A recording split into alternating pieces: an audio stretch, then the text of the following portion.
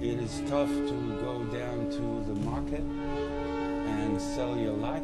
If you run through your deepest memories and desires, a lot of them will be connected with your most sensual adventures.